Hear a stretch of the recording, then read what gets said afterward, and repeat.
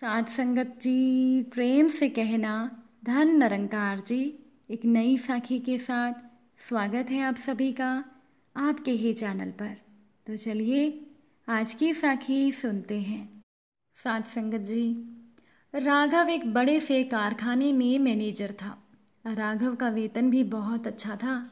उसके पास गाड़ी, बंगला, bank balance सब कुछ था। फिर राघव की शादी रीमा से हो गई। दोनों एक दूसरे के साथ बहुत खुश थे।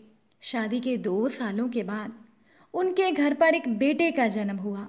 पति पत्नी की खुशी का ठिकाना ही नहीं रहा। अब रीमा ने अपने पति राघव से कहा, हम अपने बेटे को गुरुकुल में पढ़ने भेजेंगे। वहाँ इसे बहुत ही अच्छे संस्कार मिलेंगे। तब राघव ने पत्नी से कहा, अरे, अब गुरुकुल का जमाना चला गया। आजकल तो आधुनिक ज़माना है, कंप्यूटर का ज़माना है। मैं अपने बेटे को चार्टेड अकाउंटेंट बनाऊँगा। अब दो सालों के बाद उनके घर पर दूसरे बेटे का जन्म हुआ। पत्नी ने फिर से पति से कहा कि मेरा बेटा गुरुकुल में पढ़ेगा। लेकिन राघव ने कहा, नहीं, मेरा ये बेटा इंजीनियर बनेगा और बाद में एक बड़ी कंपनी का आम मालिक होगा।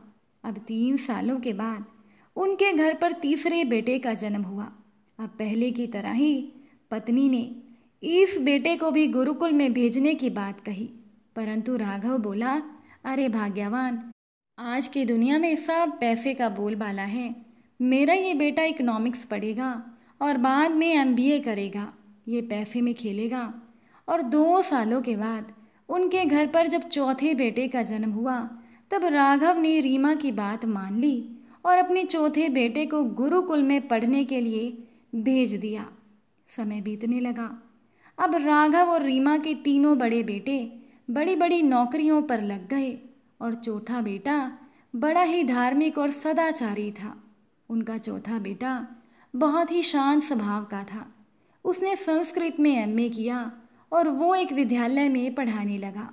अब एक दिन राघव ने मज़ाक में अपनी पत्नी रीमा से कहा, देखो, मेरे तीनों बड़े बेटे बड़ी बड़ी गाड़ियाँ चलाते हैं, बहुत बड़ी बड़ी कंपनियों में काम करते हैं और तुम्हारा सबसे छोटा बेटा, वो तो बेचारा सारा जीवन बच्चों को पढ़ाने में ही बिता देगा।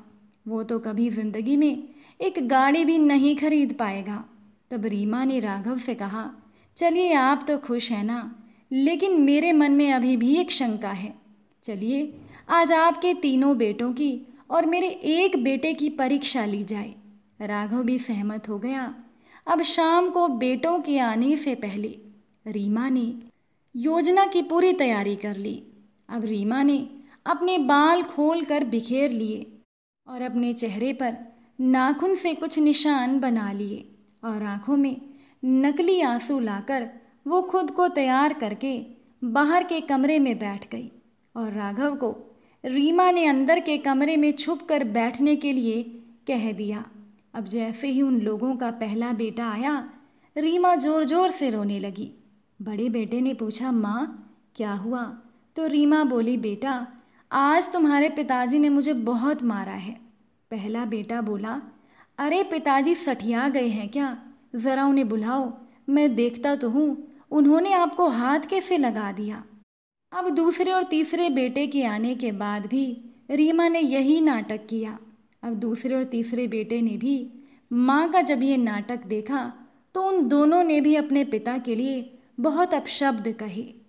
और तीनों ने कहा, जब पिताजी घर पर आ जाएँ तो हमें हमारे कमरों से बुला लेना। आज हम उनका दिमाग ठीक करेंगे। अभी तो आप खाना लगा दो, बहुत भूख लगी है। तीनों बेटे खाना खाकर अपने कमरे में चले गए और अंदर के कमरे में बैठा उनका पिता राघव। ये सुनकर बहुत हैरान था। राघव की आँखों में आँसू था, क्योंकि उसने सब सुन लिया था। राघव सोचने लगा कि किस तरह से मैंने जीवन भर की कमाई इन तीनों पर लगा दी। और सिर्फ़ एक बात सुनने पर ही मेरे बेटे मेरे साथ ऐसा व्यवहार करने लगे थे। इतने में चौथा बेटा भी घर पर आ गया। अब माँ ने उसे भी वही पिटाई की कहानी सुना दी। तब चौथे बेटे ने माँ से कहा, माँ, आप तो पिताजी के लिए ऐसे अपशब्द मत कहिए। आपको क्या पता? क्या पता पिताजी को किसी बात पर गुस्सा आ गया होगा? अरे आप दोनों तो एक दूसरे के पूरक हो। पिताजी आपके बिना अधूरे हैं। माँ, अगर उन्होंने थोड़ा गुस्सा दिखा भी दिया तो क्या हो गया? मैंने तो इतने वर्षों में कभी भी पिताजी को ऐसा व्यवहार करते हुए नहीं देखा है। अरे पीटना तो दूर की बात है। मैंने तो कभी उन्हें ऊँचा बोलते हुए भी नहीं सुना है।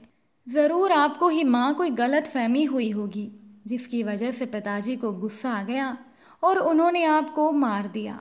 याद कीजिए माँ, जब आप बीमार थीं तो पिताजी दिन रात आपकी सेवा में लगे रहते थे।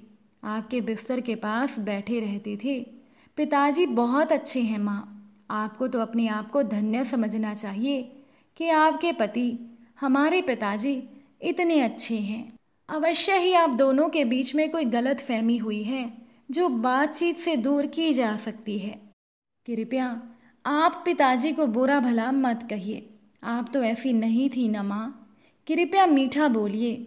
अब ये सुनकर माँ ने अपने चौथे बेटे को गले से लगा लिया और माँ ज़ोर ज़ोर से रोने लगी। अब उनके पिता भी कमरे से बाहर आ गए। पिता की आँखों में भी आँसू थे।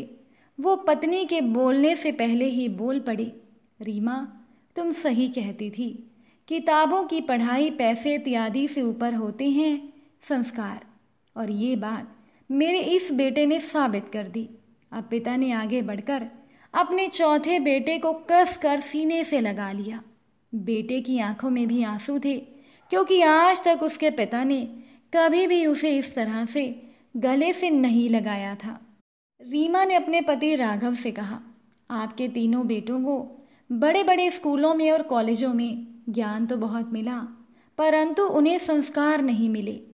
और मेरे इस बेटे के संस्कार इसके गुरुकुल की ही देन है। इसने धर्म ग्रंथ पढ़े हैं, इसने प्रार्थनाएँ की हैं, गुरु का आदर किया है, और वो सब कुछ पाया है, जो आपके तीनों बेटे नहीं पा सके। साथ संगत जी आजकल हर एक माता पिता लाखों रुपए खर्च करके अपने बच्चों को डिग्रियाँ तो दिलवा देते हैं, परंतु वो लोग माता पिता ये कभी नहीं देखते कि उनके बच्चे अच्छे इंसान बने भी हैं या नहीं? उनके अंदर संस्कार हैं या नहीं? आप इस बात से कितना सहमत हैं? अपनी राय कमेंट द्वारा ज़रूर बताइएगा। साखी अच्छी लगी हो, वीडियो को लाइक, शेयर कीजिएगा। चैनल पर नए हैं तो सब्सक्राइब भी ज़रूर कीजिएगा। आप सभी से फिर मुलाकात होगी एक नई साखी के साथ। साथ संगत जी, प्यार से कहना, धन निरंकार जी।